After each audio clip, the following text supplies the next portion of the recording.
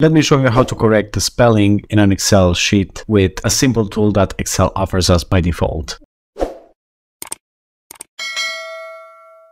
Notice that I have the sentence in here and I've slipped in a few spelling mistakes and let me show you how to correct them. So you have your spreadsheet and you need to send it to someone and you want everything to be correct. You want everything to be uh, spelled correctly. So for that, you will have to go to the review tab and click on the spelling button from here. Now, this is going to ask you if you want to continue checking at the beginning of the sheet and I do want that because the sum that I selected doesn't contain anything, so I'm going to hit yes. And now this will take the English United Kingdom, which is the language that I'm using, and it will look for words that are not in the dictionary, and then it will give you a suggestion to correct it. Now you can ignore once, ignore all, or change it if it's incorrect. Like if I hit ignore, this will be skipped, and this actually gives me pretty straightforward suggestions. But notice here that this gives me more suggestions suggestions because this could be anything. So be sure to pay attention to which suggestion you pick because the first one that shows in here might not be the best one. In my case, it is. I'm going to hit change and there we go. I've corrected everything in my sentence. This is it. This is how you correct spelling in Microsoft Excel. If this was useful, please give this video a thumbs up and I'll see you in the next one.